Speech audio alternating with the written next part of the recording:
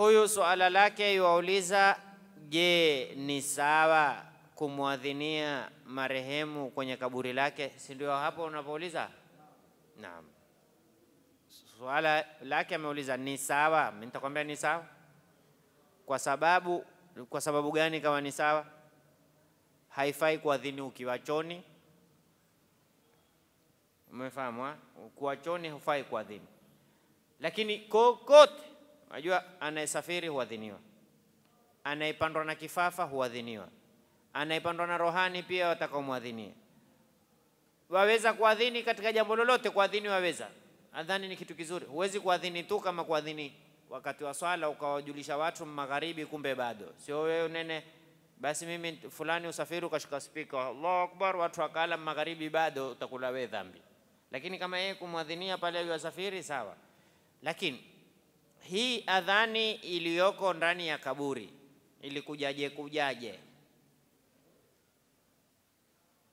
Nafikiri swala lako lilikuwa namna hiyo maana Maanake kuuliza ni sawa, maanake kama mtu kuuliza ni sawa kula sunflower nikifungua mwadhini, nitakwambia ni sawa, lakini ilikuwaje tuwe tule mathalan, mtu ulize ni sawa kula tende, ni sawa, lakini ni tofauti na kuuliza ni sunna ilikuwaje ikawa tukifungua mwadhini ni sunna kula tende? Hili ni swala tofauti, umefahamu?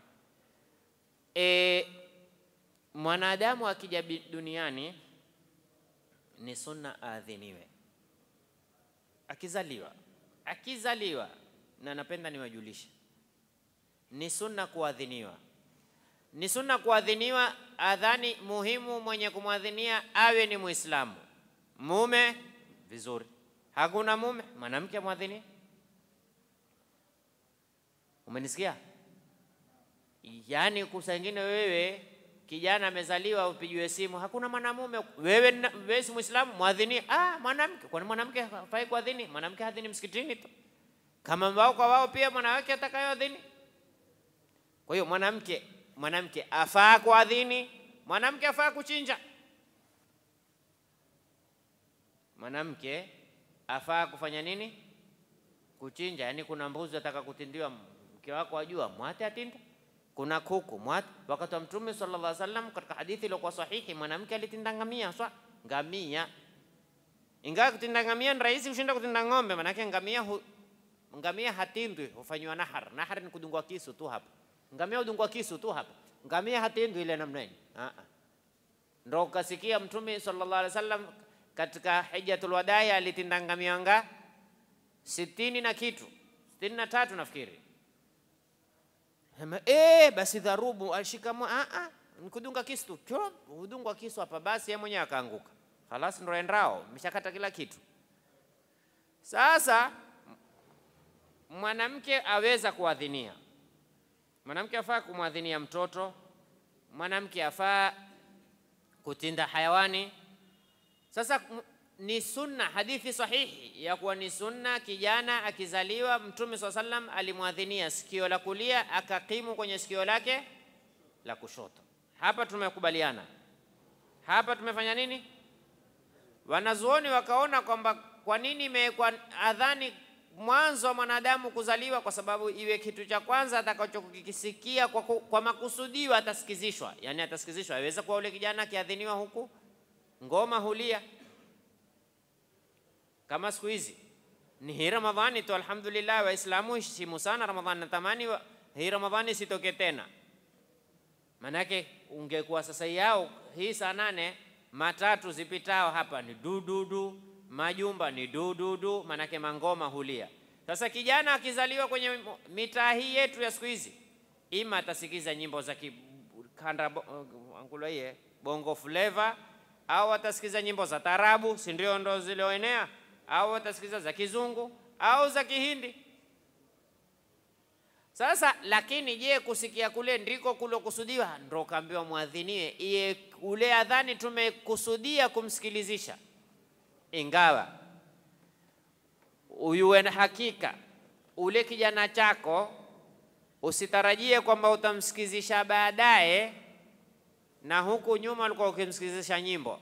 Mamake kila akiketi uweka simu kwenye mapaja akasikiliza nyimbo za mapenzi, nyimbo za nini, nyimbo za nini, uyue ule kijana kuanzia akitiwa roho, kijana kuanzia akitiwa roho, baada ya mwezi wa nne kijana husikia ndani ya tumbo la mamake. Very very clear, very clear,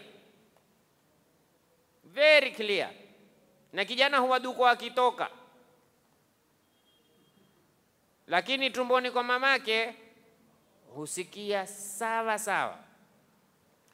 Sasa ule kijana wewe umemsikizisha tumboni la mama miezi sita continuously, au miezi mitano, miezi mitano tunene ni. Miezi minne tunene, mesikiza vizuri.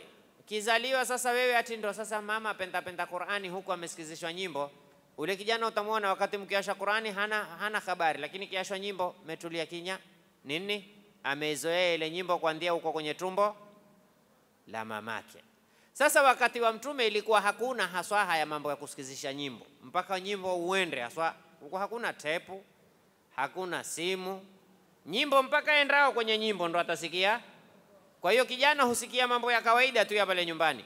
Sasa akakusudiwa akizaliwa mwanzo, Allahu akbar, nisiendelee, watu wakaona alasiri tayari.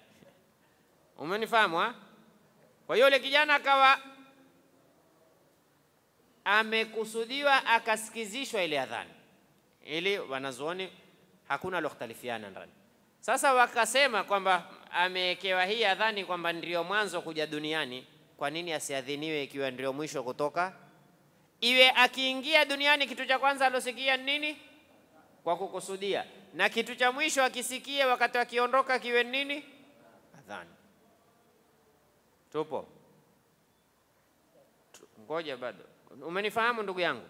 Kwa hiyo ile adhani ya kaburini si ya hadithi, lakini walikisia wanazuoni kwamba iko ya, ku, ya kuzaliwa na twaweza kumwekea ya kufanya nini, ya kufa. Ni kwa kukisia, ni kiasi.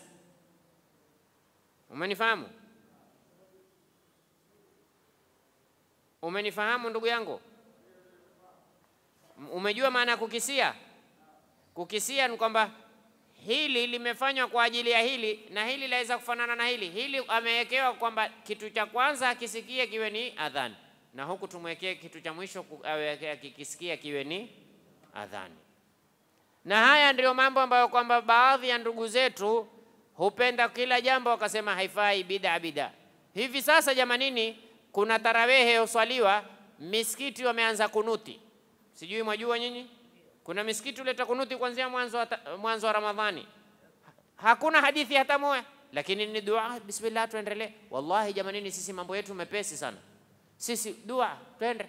Mwataka kuleta dua, twende. Lakini hawawezi kutuletea hadithi hata moja ya kuwa Mtume amesema leteni kunuti kuanzia mwanzo wa tarawehe. Hakuna, lakini hakuna pingao wala hakuna ataka kuambiwa ni haramu wala mumeeta bida. La, twendeni, lakini ifanywe na watu wengine kutasimama kiama, hey, khurafi hey, we- wewe waweza kufanya, mwenzako hawezi, haifai namna hii. Msamehe mwendani wako katika lake. Sote lengo ni kwamba kukithirisha ibada, kukithirisha taa.